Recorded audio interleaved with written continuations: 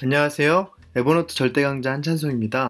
오늘은 크롬을 통해서 에버노트의 web clipper를 설치해 보려고 합니다. 일단은 크롬을 설치하셔야 되는데 저는 크롬이 지금 설치가 되어 있거든요. 만약에 크롬이 설치가 되어 있지 않다면 네이버에서 크롬을 검색하시면 다운로드 하실 수 있습니다. 크롬을 들어가셔서 크롬 다운로드를 누르시고 설치를 하시면 됩니다. 크롬을 설치하시고 난 다음에는 크롬에 들어가 보시면 이런 화면이 나옵니다. 주소 입력 창에다가 web store라고 검색하시면 됩니다. web store라고 검색하시면 여기 크롬 web store 두 번째 확장 프로그램 여기 보이시죠? 이것을 클릭하시면 web clipper를 설치할 수 있는 사이트를 들어가게 됩니다.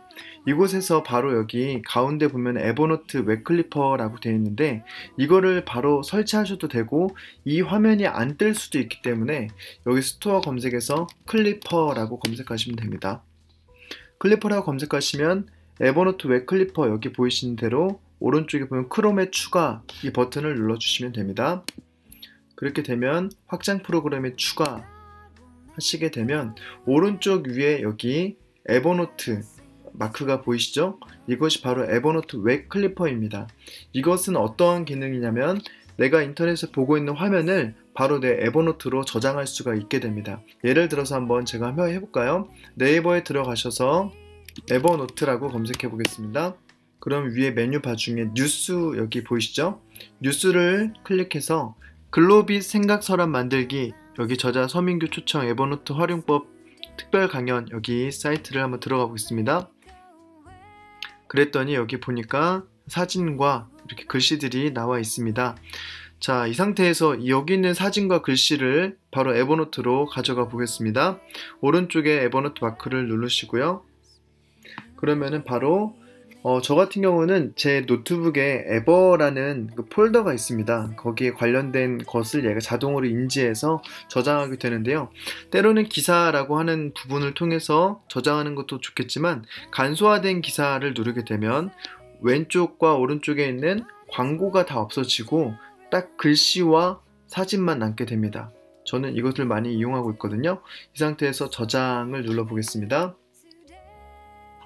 자 그러면은 벌써 저장이 되어 있고 스크랩 위치는 여기 에버마소 나스 구글이라는 폴더에 들어갔다라는 걸 볼 수가 있습니다. 그러면 에버노트에 들어가셔서 마소라고 쳐야 되겠네요. 마소라고 치니까 여기 바, 로 보이죠? 이 노트북에 들어가 보니 지금 방금 저장했던 오 이거 되게 크게 나왔네요 글씨가 글씨를 좀 줄여야겠어요 위에서 어, 한 24 정도 자 보니까 여기는 사진이 그대로 들어왔고요. 여기는 글씨들이 들어왔습니다. 글씨체가 마음에 안 들면은 글씨는 여기 위에서 바꿔주면 되고요.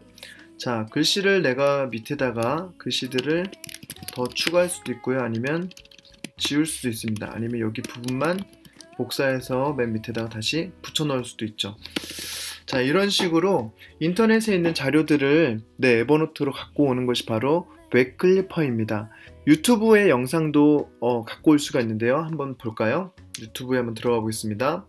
자, 여기 위에서 유튜브 들어가셔서 에버노트라고 검색해 볼까요? 에버노트 이렇게 에버노트에 관련된 영상들이 많이 있는데요. 어, 여기 제가 올렸던 게 나오네요. 에버노트 고급 강좌 어떻게 활용할 것인가 이거를 한번 보고 싶다면 이렇게 들어가시고. 자 제가 이거 강의를 한 것들을 이 영상을 에버노트에 옮겨 보도록 하겠습니다.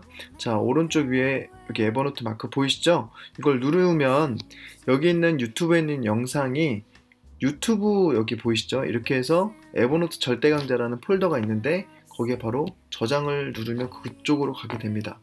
자 그러면 또 확인해 보겠습니다. 에버노트에 들어가시고. 자 에버노트 절대 강자 한번 폴더를 찾아보겠습니다. 자, 들어가 보니까 제가 아까 전에 봤던 그 영상이 이렇게 유튜브에 있는 영상들이 들어가게 됩니다. 영상 자체가 들어가는 건 아니고 어, 링크가 들어가는 것입니다. 여기서 이 링크를 누르면 바로 그 영상을 볼 수 있게 됩니다. 유튜브에 있는 영상들도 이렇게 에버노트에 바로 넣을 수 있습니다. web clipper 기능이 굉장히 유용하니까요. 어, 설치하셔서 꼭 활용해 보시기 바랍니다. 감사합니다.